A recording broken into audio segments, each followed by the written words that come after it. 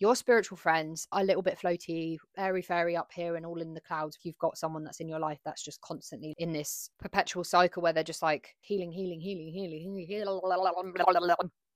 Your non-spiritual friends are just talking about the things that have happened in their day to day. That that is those people ground me.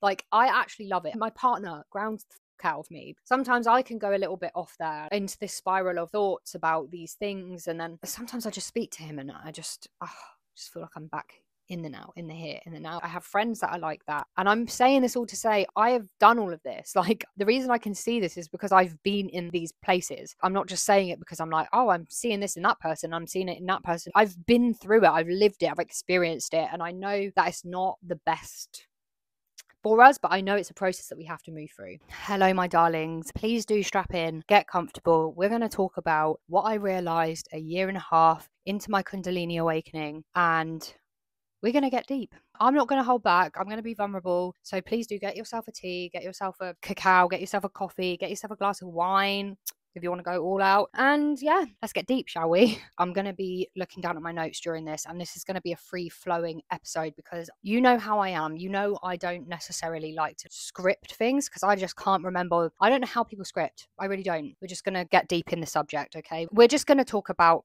everything. excuse me. So, I am a year and a half into my Kundalini awakening. If you are new to my channel, hi, hello, welcome. My name is Lauren. It's lovely to have you here. If you have had a Kundalini awakening and you are really, really dying to know other people's experiences, I've created a whole playlist on my YouTube channel. So, please go and check it out. I've got plenty more videos to come. This is part of a whole series that I'm making that is an endless series. It's not going to have a number to it because there's going to be so many things going forward that I want to talk about. Today, we're talking about about what I realized a year and a half into my Kundalini awakening. So, as it stands today, I am about a year and a half in. I had my Kundalini awakening in January of 2023, and it changed the trajectory of my life. I definitely feel like a different person. And the thing is with the Kundalini, you know, the Kundalini is related to the snake, the coil that goes up your spine and out of your crown. And if you see a snake as a symbolism, the snake sheds its skin throughout its whole lifetime over and over and over again. So imagine having the Kundalini awakening. It is as if you're being reborn again. Oh, I've got chills actually, because just even thinking about it visually in my head, it's like the snake activates and then like blasts up through your body and out of your crown. And it's as if it's coming out of yourself and then your skin is like the banana peel, the skin of the snake that just folds away. You have to relearn parts of yourself and let go of parts of yourself, like shed old patterns and behaviors and habits, and then be reborn into the more real, authentic, true version of yourself. And every time that happens, it's never just, it's never ending, by the way. It will happen over and over again. So there's a lot that I've realized within this year and a half. There's a lot that's happened within this year and a half. I've been on a spiritual journey for the last decade. I'm 30 years old now and I started when I was like 20, 21 years old. Honestly, even now, like if I look back to how I was then and the different stages of my journey that I've been on, I'm at this point now where I genuinely like even the spiritual beliefs that I've come to connect with and understand have changed and have grown and have evolved. And there's certain behavioral habits and patterns that I am having to outgrow now at this point in my life. It's a constant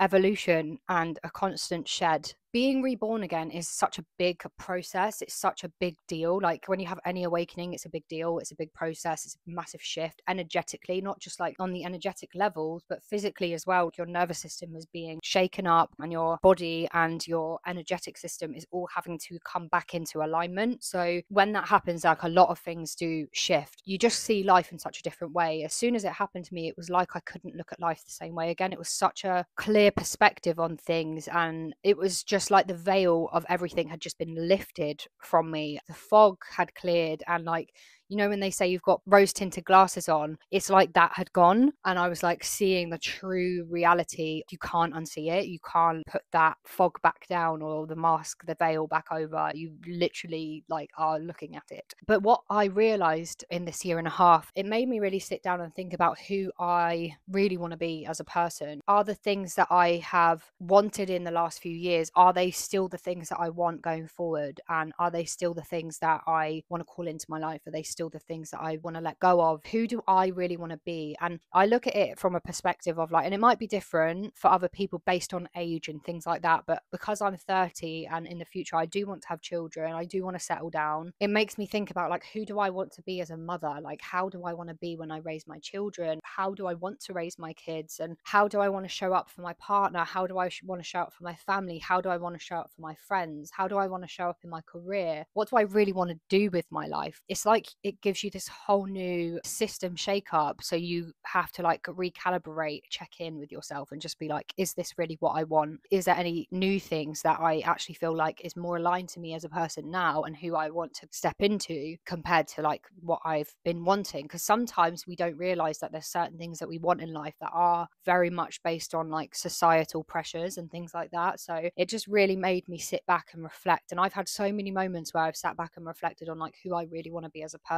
So that's been a massive one. This Kundalini awakening has showed me where I wasn't showing up with full integrity. It was showing me where I wasn't showing up as my full self showing up in full integrity basically means like practice what you preach. Are you preaching and are you living in alignment to what you're preaching? Because if you're not you're not being in integrity to who you are as a person or like who you're saying that you are. So you're not basically being true to who you are as a person. You know people can go ahead and preach about all their spiritual beliefs to someone then they're not actually acting out in their life true to those spiritual beliefs, that means they're not being in integrity to who they really are preaching they are being, if that makes any sense.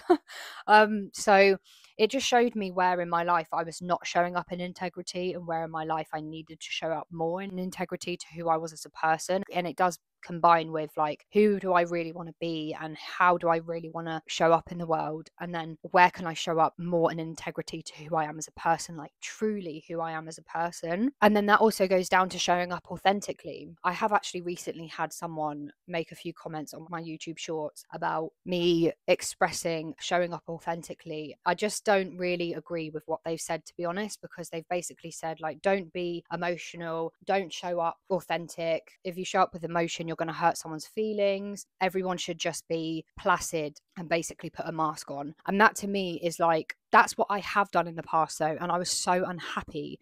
And I've seen people in the past put a mask on to try and please people around them because they feel like they need to fit into this certain societal expectation, which is just so not right. I personally believe the best thing that the spiritual journey has brought me is learning to be authentically me and just showing up as who I truly am. And I can definitely be you know, a scatty mess.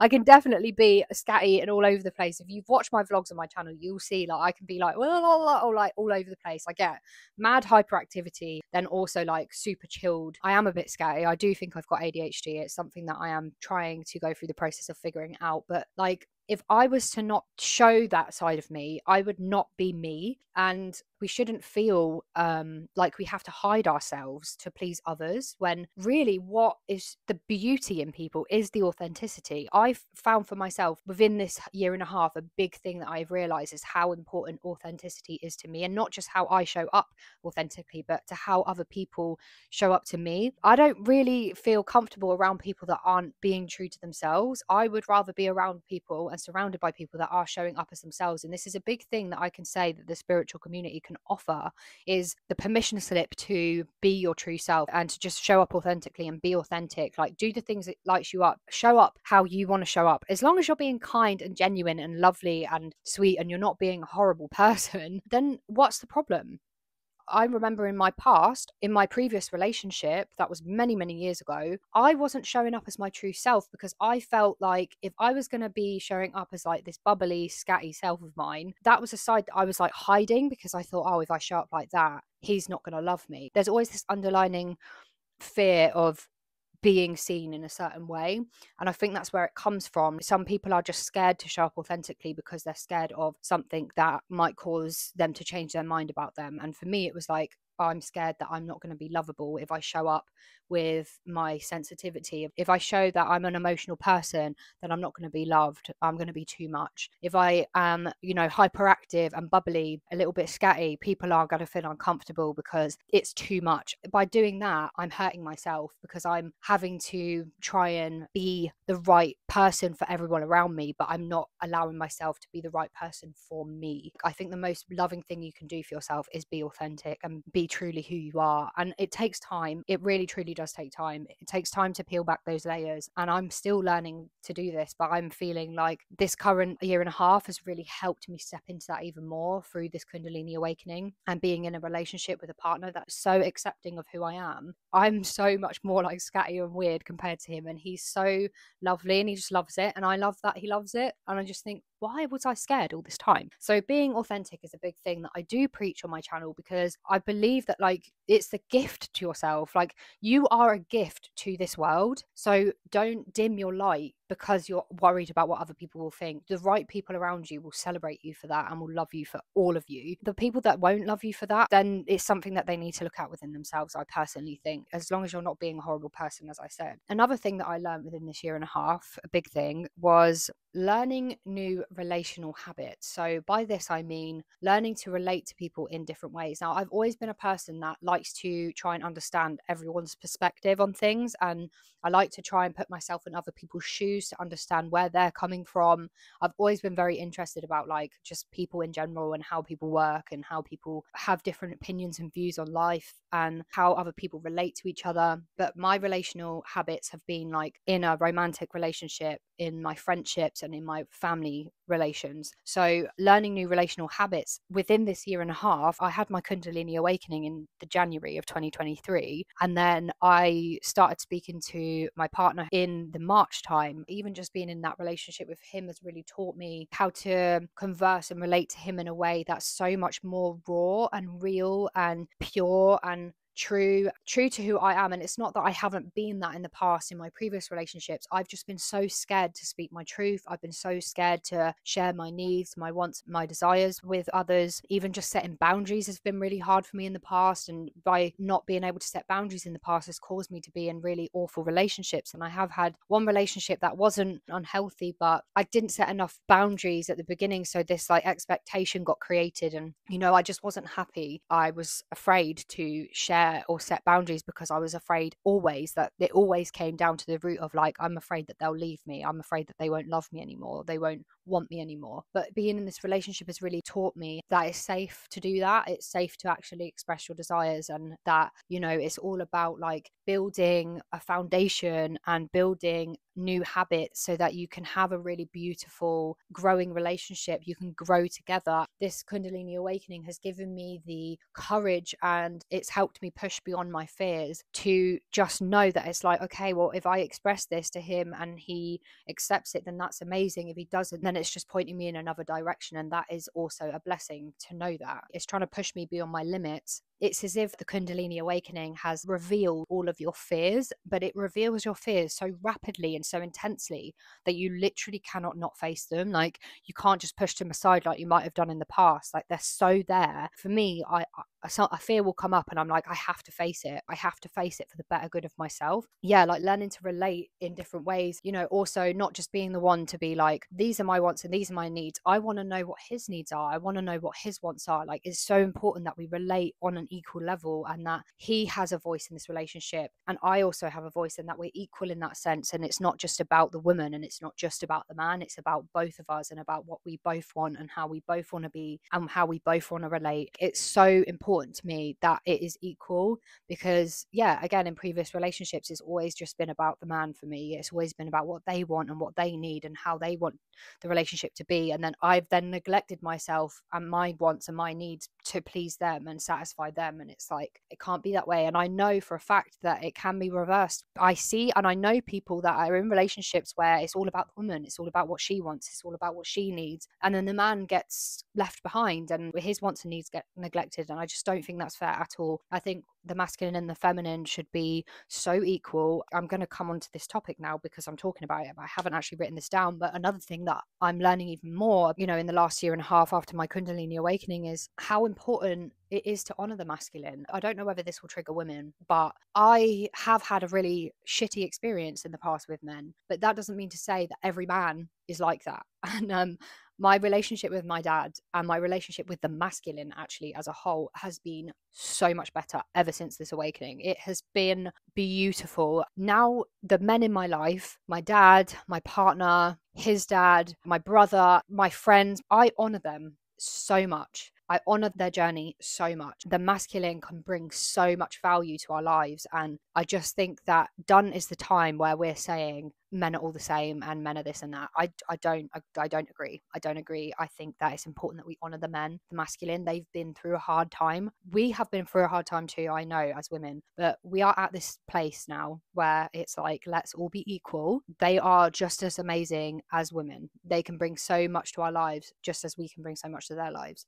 And when we work in a place relationally where we are honoring one another life is so much more beautiful relationships are so much more beautiful. Appreciating the masculine is so beautiful and then when you appreciate your man they appreciate you back and it's just this constant beautiful give and take exchange of love and energy and just beauty. So i really wanted to touch on that. Relational habits have been a big one for me because i was single for 5 years before i met my partner and it's been such a journey with him and it's been different to most people that i know. We we didn't rush into our relationship we took our time We took it easy. We really got to know each other before we made that solid commitment to each other. It's just been so healing in so many ways. And if it's something that people want me to talk about, let me know because I will be more than happy to talk about it. He's such a babe. He is going to be on my channel a lot more. He might already be on my channel more now if you're watching this later in life. So the next thing is honoring everyone's journey, spiritual or not. So within this year and a half after my spiritual awakening, I have realized so much about the people around me,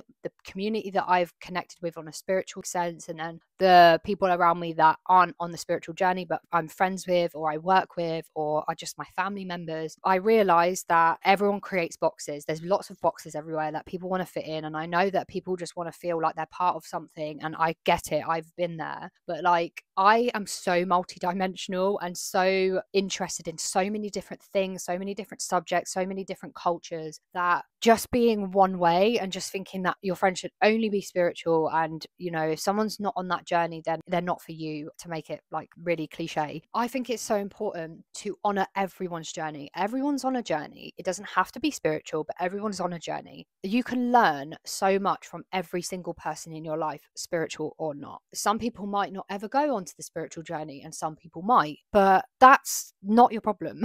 Shine your light, show up authentically, and you know, share your interests and your hobbies with them, but never push the spiritual journey on anyone anyone. To me, it's just important to honor everyone in your life whether they're on the spiritual journey or not because life isn't just about that. Life is about everything as a whole. Life is about the love that is surrounding us. Life is about the people in our lives. Life is about family. Life is about friends. Life is about love. It's all about love it's all about love. It's all about presence. It's all about gratitude. It's all about living in the moment and just enjoying the moment. To me, I just think like everyone's on such a journey. Everyone's living through their own experience and it's so different. Some people are going for a really hard time, some people are not and i just think it's it's important to recognize that like you know everyone is going through something everyone is moving through something and just being there for the people that need you and being there for yourself. Also within the last year and a half i've realized that there's a lot of jargon and nonsense and bullshit actually that is actually within the spiritual community. But it made me realize that it's not just within certain cliques and certain places. It is actually everywhere. You get the bullshit you get the light you get the dark you get the fucking nonsense within every fucking community personally i'm going to say because i have seen so much bullshit in the spiritual community the last year and a half i've seen so much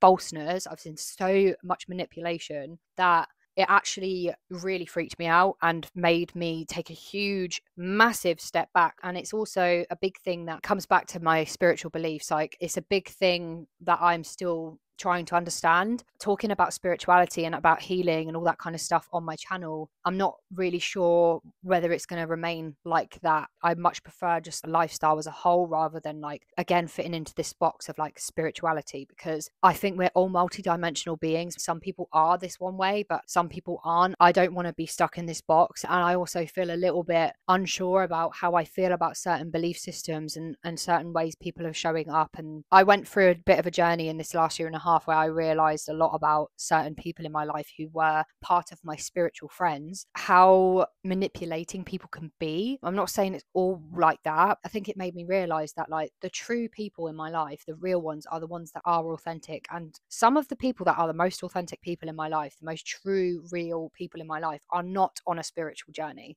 And that makes me honor that person because I'm just like, you are fucking amazing. There's no need to change. And this is a big thing. Like when you go onto the spiritual journey, people just want to change and grow and evolve. And that's amazing. But like, are you changing for the better or are you just learning different tools and techniques to use to your advantage on other people? Because that I don't like that I don't like. It just made me think, like, okay, I've seen enough. And again, this is another thing I've realized within that year and a half of my Kundalini awakening is that the veil, I talk about the veil being lifted, right? You can only see the truth in the situations. It's so much more clear. Like, you literally feel like people are so obvious to you at this point. Like, the veil's lifted, you're seeing directly the truth. It's lucky, but it's also really uncomfortable. Like it's a good thing and it's a bad thing. Sometimes we don't realize how much people are putting on a false mask or trying to get their way with certain things. I don't know. I don't know whether I'm going on a bit of a tangent here. I haven't been hanging around with the spiritual community for the longest time and I just I just don't know how I feel about it anymore, to be honest. Another thing that I've talked about a little bit is questioning spiritual beliefs. Now, I have mentioned this a couple of times in this video. It's been a big thing that I'm still trying to figure out. I'm still a bit like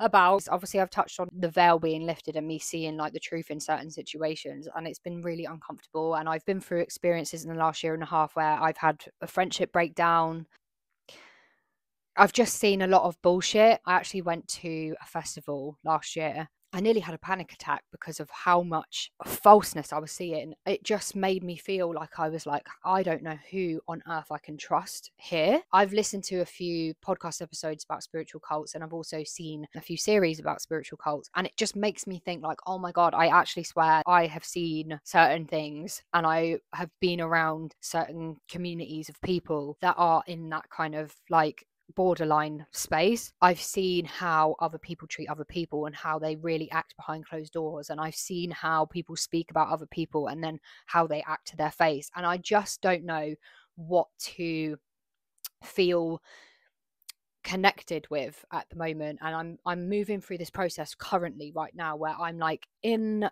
you know a bit of like a i'm not really sure what I believe in right now. Like, I believe that there's something bigger than all of us out there. I do believe in energy, but I just feel like there's so many different belief systems and it can get so intertwined and so overlapped and it just gets very confusing and i see people that preach about spirituality and their journey and their process and all of this kind of stuff but then they're not showing up in integrity to what they're saying and they talk about other people behind their back in a really fucking negative way and there's so many things i've seen that just makes me question a lot about the community as a whole the spiritual community as a whole. I feel like i'm being really negative about the spiritual community but like I have had and I do have so many conscious, beautiful people in my life that are really real and are really true to who they are and how they show up in the world.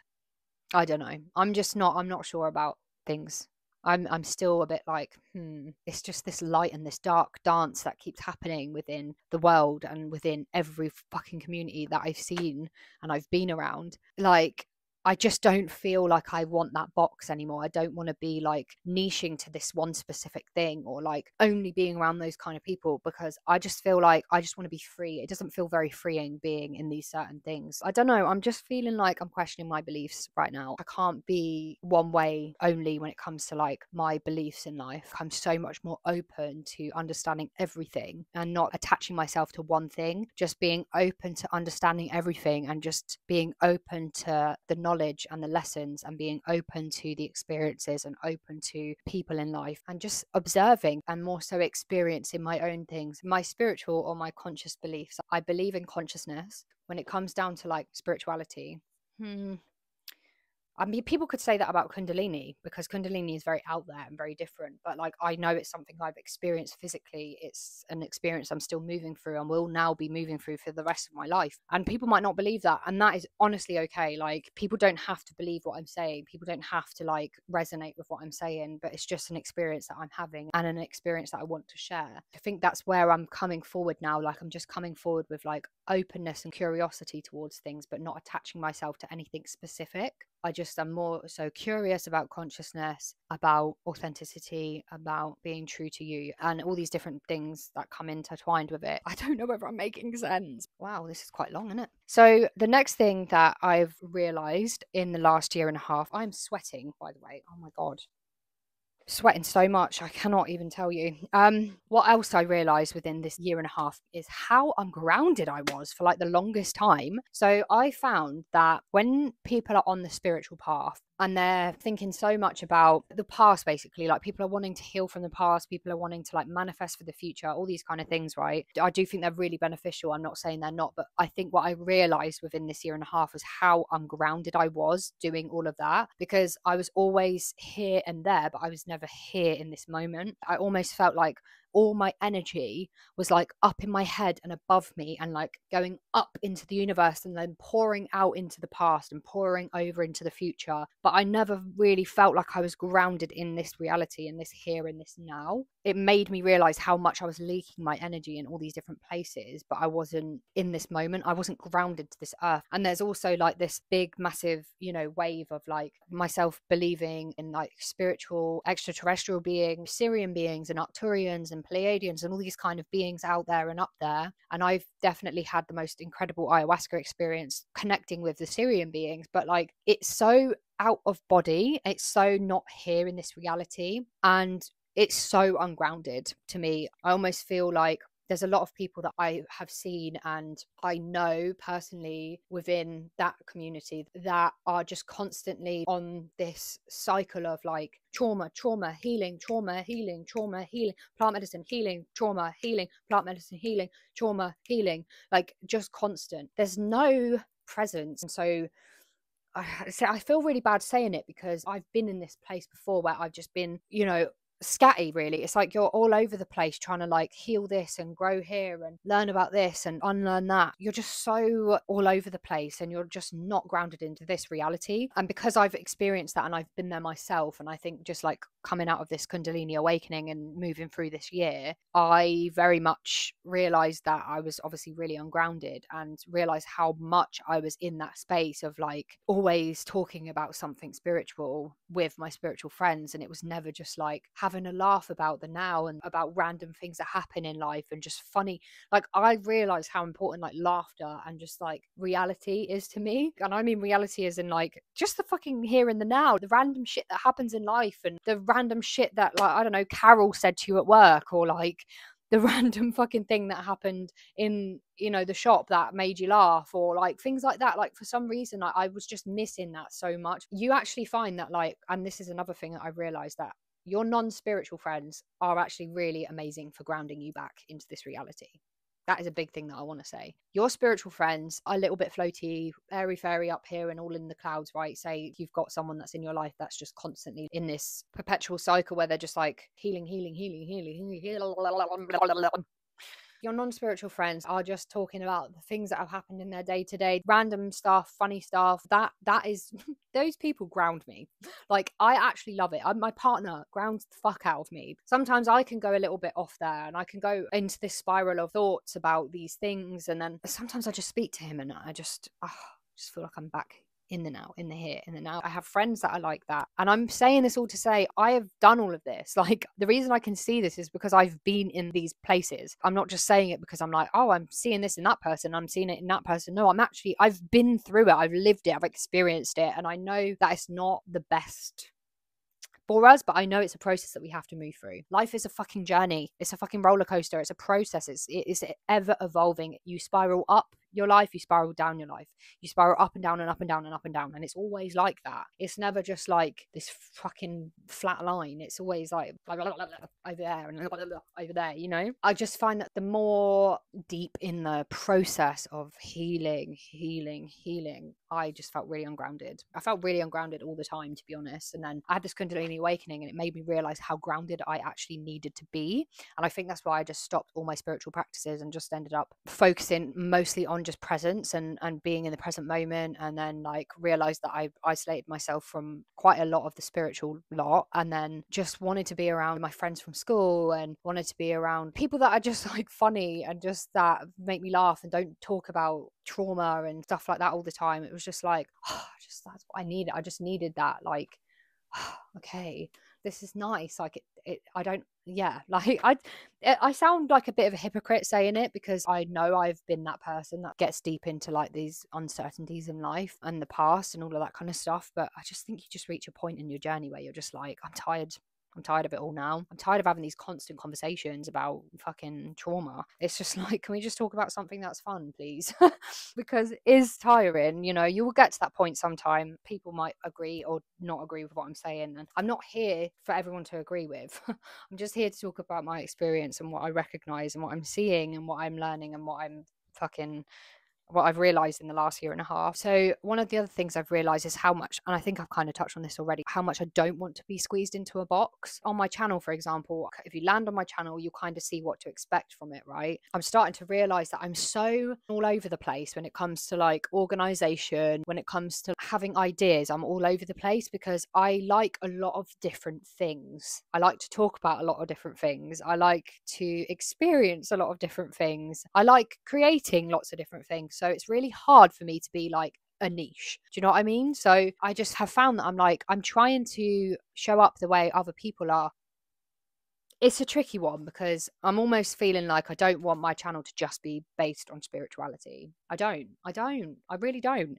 Um and this is probably not the Kundalini experience that you might have thought you would get in today. But I am just being real. I, I am just being real about what I'm what I'm recognizing in my life ever since it happened to me. But yeah, being squeezed into a box just feels so limiting. It feels like I'm limiting myself and I cannot limit myself because I'm just like so interested in so many different things that I think I would be doing myself a disservice if I wasn't sharing all my interests.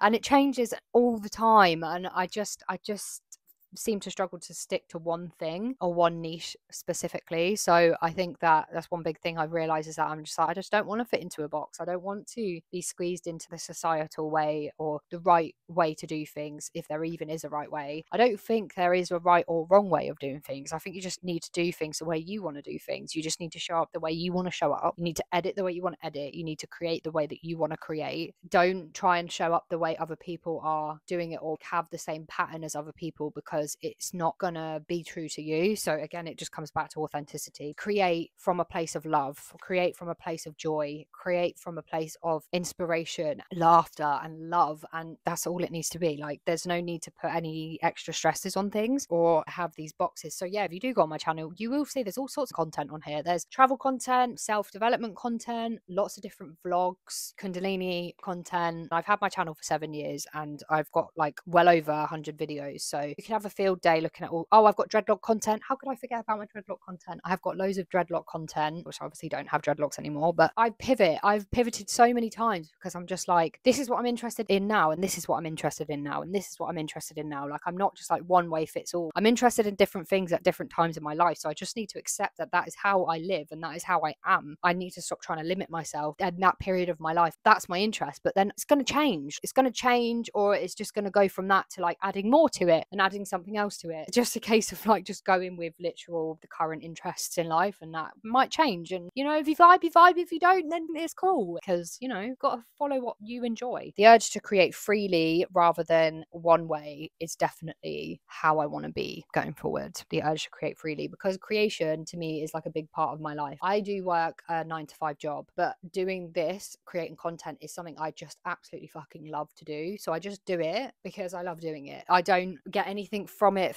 physically. Like I just enjoy it and I like connecting with others. I like inspiring others and showing others that You can be who you want to be, and it is all going to be fine. Like, you will be okay. There's just a lot that I enjoy doing. So, I spend a lot of my spare time doing this. The next thing that I've realized in the year and a half after my Kundalini awakening is the importance of taking breaks, pausing, basically, taking breaks and pausing in your journey. I've probably stressed this within everything else that I've said. You just need to give yourself time to chill out.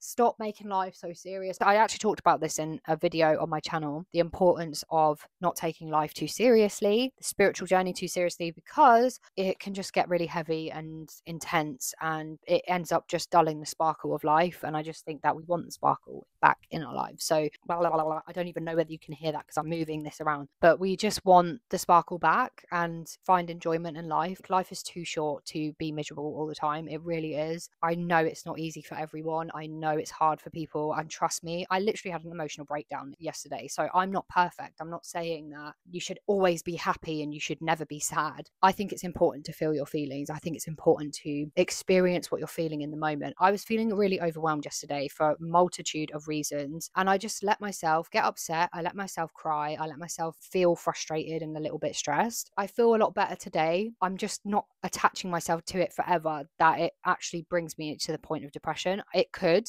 I could attach myself to that feeling and the things that were stressing me out, and I could go into a spiral and I could let it drag me down. But again, life is too short, and I don't want to live day to day in that place. It's just not worth it. I know it's hard for people though. Trust me, I have people in my life that really struggle on a daily basis. And all I can do is bring that light into their lives. If they don't feel like they've got the light themselves, I'm more than happy to bring that light for them and just be that joy that lights them up. That will bring me joy to bring them joy. So that's just how I am as a person, though. The importance of boundaries has been a big one as well. I found that boundary setting was like one of the hardest things for me to do, especially when I talk about relational habits and things like that. I've had to learn to set boundaries, and it has been a huge challenge for me. I did experience last year, I had to set a lot of boundaries, and it was really difficult. I hate to make people feel uncomfortable or make people feel like I've upset them or anything. It's the last thing that I want to do. But then I felt like this person was really getting to me. They'd said a couple of things that were just really incredibly insulting towards myself and my family, and it really hurt my feelings. I knew that it was testing me. I knew that it was like, okay, I need to show up in a way that I actually am learning to say, actually, I'm not okay with this. I would have in the past just allowed that behavior. And then when that happens, people just walk all over you, they manipulate you, they take advantage of you. And I just couldn't have that this time. I could see what was happening, and I was like, well, I need to take the plunge. I need to just be straight up, set a boundary. And if they don't like it, then that's that's their issue. But I have to do this for myself because I cannot. When you're a people pleaser, it's so easy for people to walk all over you, and it's so hard to break that pattern. I just had to set a couple of boundaries a few times to the same person. Eventually, they listened, but it was just that was really hard. I've had to like learn to set boundaries within my friendships, and that has been really hard and incredibly uncomfortable for me to do.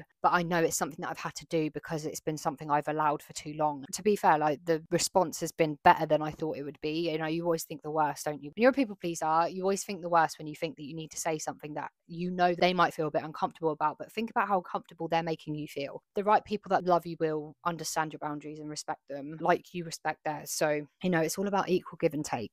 That's what I think. Another thing that I've realized is that a small circle of friends is fine. I have been one person in the past. I've had different friends in all different places, and then I've almost always felt like I've needed to stretch myself so thin to try and actually see everyone, to meet everyone's needs, to try and make sure that I'm showing up for everyone. My circle has actually gotten a lot smaller because I've just been a lot more selective with who I want to spend my time with, who shows up for me the most as well. Again, in that equal give and take, a small circle of friends is fine. Like, you don't need a massive group of friends, it's quality over quantity at the end of the day. So, that's a big thing I've realized. And then I would say the last thing really is this Kundalini awakening really has allowed me to really reflect and sit back and reflect on my life, reflect on how I really want to show up in the world. I think it always comes down to like going back to our childhood self, you know, the kid in you, the little child in you that is literally like being true to themselves. Eliminate the parents at this point, right? Imagine your child self without all of the encouragement, the societal pressures. Imagine just being your childlike self without all of that nonsense that